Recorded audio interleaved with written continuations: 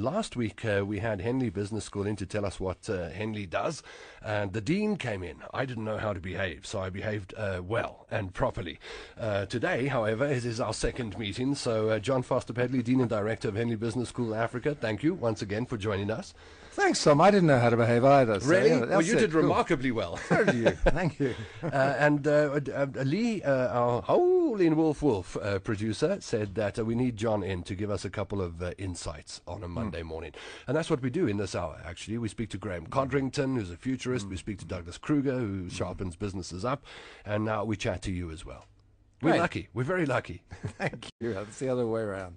what have you got for us this morning? Well, I, I had my sister-in-law came up from Cape Town the weekend. It just it just really hit me how serious that water crisis is down there. Yes. I mean, we don't see so much of it here in Joburg, uh. but it's really affecting people, and it's part of what we may see with changing in climate patterns. So we're going to see significant changes in infrastructure, and are we spending money on it?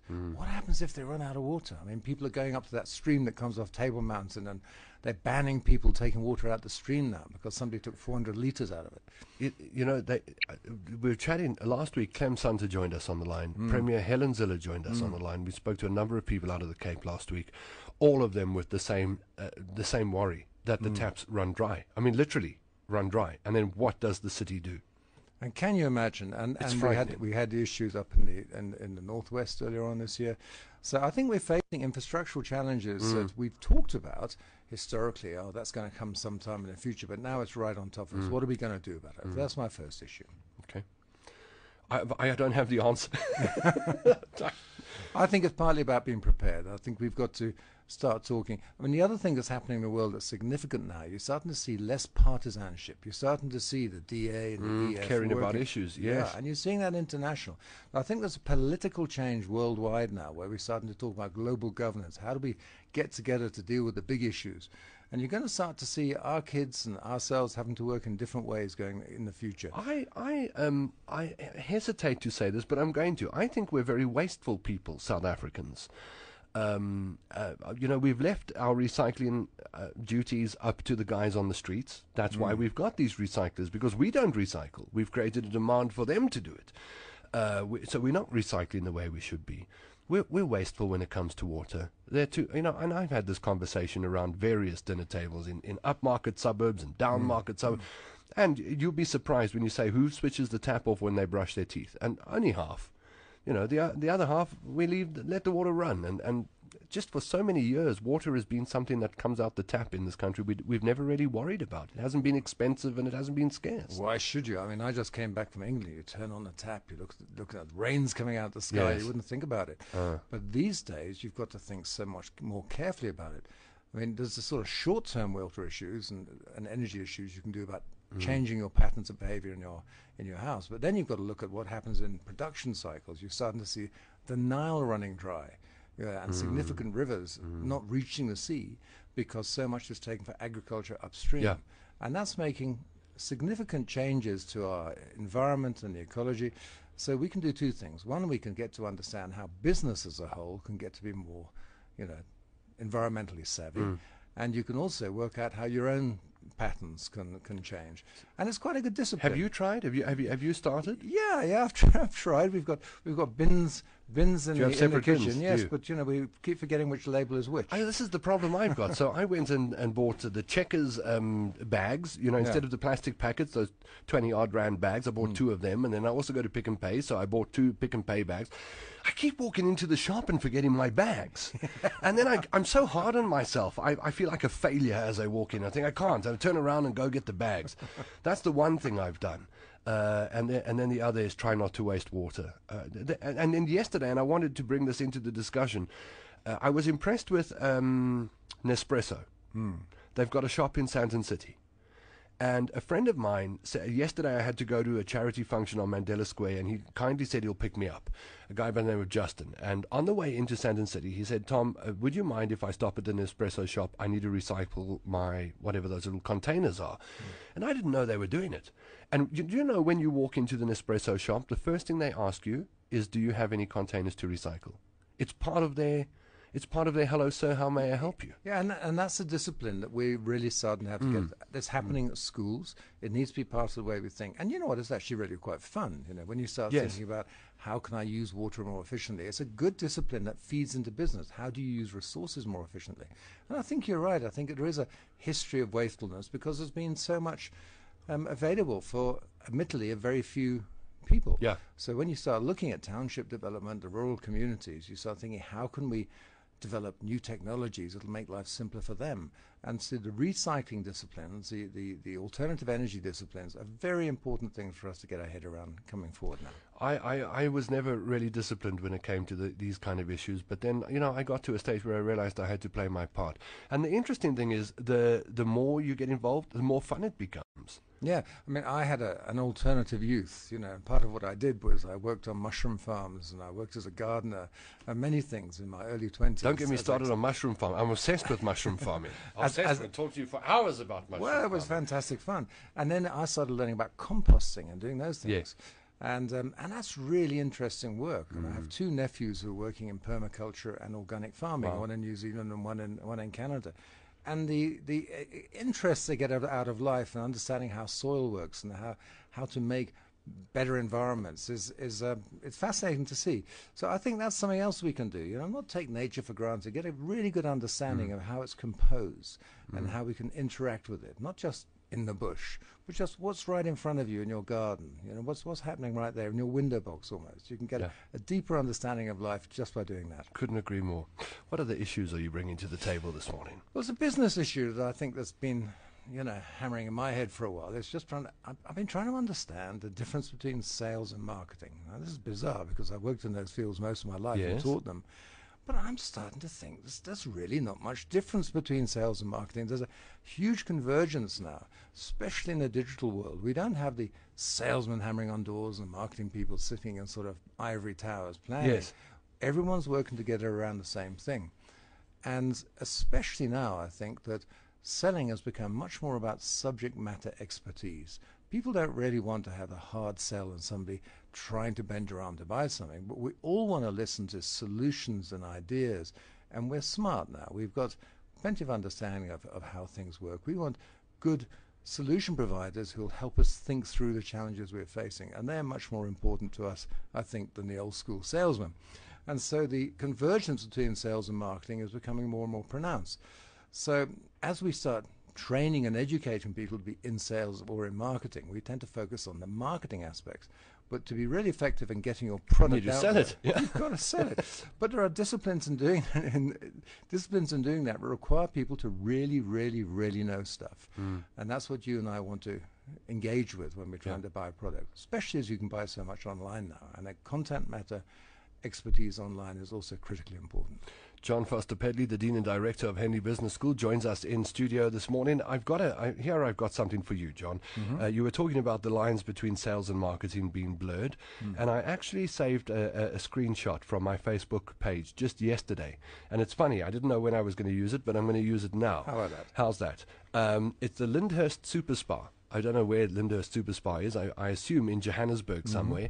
And you know, I watch people um, on Facebook all the time, and businesses trying to get their message across, and very often it just gets lost in the noise. And here, I don't know who this was, whether this was the salesperson or the marketing person or the person in charge of the fruit and veg section. It might have just been the person in charge of the fruit and veg section, right? That guy rise. They've got right. potatoes on special for a, a particularly low price, and all they did was they took a picture of a whole bunch of pockets of potatoes and the price, and they put it on their Facebook page. Do you know how many comments they got underneath there? Hundreds and hundreds. Please keep ten bags for me. I'm on my way. And sometimes it's just the obvious stuff, like the old advert with the unbeatable price. I I think that's exactly it. I went past the McDonald's advert the other day, and it was a very compelling advert and Yes. extremely nuanced, or not. All it said was it had a picture of a Big Mac, and it said, "Buy a Big Mac now." It was that classic call to action, Call to action. and it was such a simple thing. And you know, I personally not a great, you know, I don't eat a lot of that stuff. You know, I'm a bit fatty with food. Yeah. But um, it was such a classic call to action, and I'm sure it worked. You know, Do you kids think- driving up, seeing with their mum saying, "Look, there's a hamburger. Come and get one, mum." You know, Do you think that uh, we forget call to action in advertising and marketing? I really do. I, I- think our copy is really overly sophisticated, and I don't mean you've got to be blunt and crude. I Mm. think that people, uh, you talked about how you can't get in this sort of attention deficit world we're facing Yeah. now. We need good words. We need simple words that resonate. We need people giving us relevance. We don't need more clutter and more fuzz in our heads. We've got enough of that Yeah. because we can't get through our emails every day. Yeah. We need well written stuff that tells us what to do and tells us what it's about with a little bit of humor in the tail, you know, Mm. a little bit of sweet and sour, a little bit of a you know challenge to our thinking, and that's what people need now. A little bit of interest, something that's amusing, but clear information, clear calls to actions that aren't patronizing. You know, Yeah. Got that's it. why the humor works. All right, throw another one at me. Well, the other one again, I think, is this thing about um, ab- about our attention deficit. You know, we have this email sector. I mean, how many of your emails do you get through every day? I'm You know, I get so many, I don't look at all of them. That's right. You just look at the headings. Perhaps Yeah. I, I work on my cell phone Yeah. now. I've got an iPhone 6 Plus, 7 Plus, and I can see the headings. I don't get to read them all. So how do you get through to people in this attention deficit world where the amount of information is cascading crazy. upwards? And frankly, your attention capability is probably going down because you're so ah. saturated, you're just tired trying to mm. understand. Mm. So now you've got to be clever in the way you engage people. You've actually got to help people manage information in their lives. And if you do that for them, you'll get the attention. Anything that stands out that's not too trivial, but is genuinely helpful, people resonate with. So now we're in a world where we've got to think not about how do I sell to my clients, but, but how do I honestly and truly help them with their lives and, and to filter the information. So be, you know, be prudent with what you say, be, be, be express it well, and use language. Is it less is more nowadays? Is hmm? it is less more? yeah, it's it's it's a difference between data, information, and intelligence. You know, there's an infinite amount of data around us. So what people do is they they, they analyze it objectively and they hmm. make it into sort of information, and you get stacks of information and and and, and Excel spreadsheets, and somebody will dump that on your desk, and say, "Hey, look, boss, I've done my job."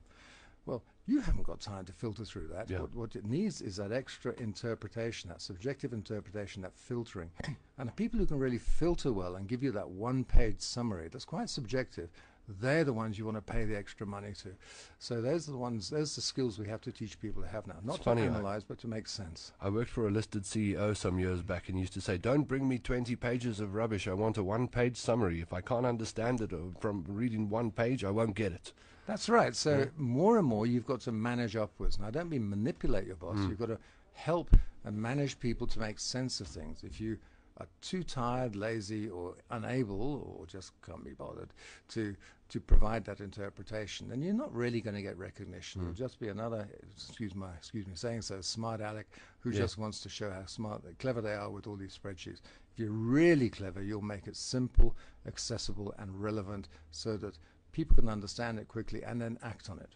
I can't think. I I think you can't emphasize that enough. The noise uh, that we have on a daily basis. I mean, we we wake up and we switch on our phones and the app and bang and we're in, uh, and and we're we're we're in the middle of everything until we shut our eyes. It's all flying around around us, uh, and uh, emails. I mean, you're talking about emails. I went to check how many I've got. Do you want to know how many emails I got in my inbox? Tell me. Four thousand nine hundred and eighty-six. Right. and Goodness how knows how many? I've answered. Yeah, I don't Yeah. know. Maybe mostly, half. mostly Yeah. all in bold and Yeah, red, right? yeah. So that's the life we're living. So let's be smart about how we engage Mm. each other with information. And if you're the person who can make sense quickly, can connect with people, and be helpful with your information, you're the one who'll You'll get be the star employee or the You person selling the product. Exactly right. You'll be number one. Have you got anything else for us? Well, I got a Ye- minute yes- or two. Yes, I have. I think um, I really think this is the time, and, and you know I'm an educationalist, so Yes. I have to say this, but I really think this is the time that education will be taken seriously. I think we've been living in this sort of world of education that's been incrementally changing. We're not challenging the basic precepts of why we do it. What are we teaching kids at school and why? So kids need to be work ready, they need to be world ready, and they need to be work able to work in teams interactively and be internationally engaged. So what are we doing in our schools to provide those things? We're still teaching them Same by things. rote some of Yeah. the same disciplines. Why are we so obsessed with the SAT scores and with the exam scores? When those exams those exam scores are good for getting into university, but have been shown really to have relatively little relevance to what happens to people Mm. in their lives. There's many, many more skills we need to be teaching our children to critically think, to But be kids have been saying this for years. I mean, what am I going to do with convection currents when I grow up? What am I going to do with 11 years of Latin? Yes. Bizarrely enough, I Yeah. did that. Oh, really? And it was one of the more useful things I ever did. My It, it taught me a lot, of, lot about the English language in the end. I watched a mini documentary the other day on the Finnish education system, which is rated right up at the top, and they only send kids to school in primary school for three to four hours a day. Uh, uh, and the Finnish Minister of Education, uh, Michael Moore, did this documentary, and he says, "Well, you know, in America we go to school for blah blah blah, we do homework, and we don't give our kids homework, and they let kids explore and breathe and be children, and it seems to work." My, my my boy's just gone to Red Hill School, which is also qu- I mean, I'm not trying to plug it, but it's just it's also quite progressive. I live across the road, by the way, and at lunchtime you can't get down Summit Street or Summit Road. if I ever get on the PTA, I'll, I'll raise a complaint. no, make my own But the lane. Finnish system's brilliant. You know what they do? Yeah. They revere educationalists. They pay teachers some of the best salaries Nice. you're going to have. Nice. So open the colleges up, teach people to Fantastic. that teaching is, is, a, is an honourable and fantastic profession.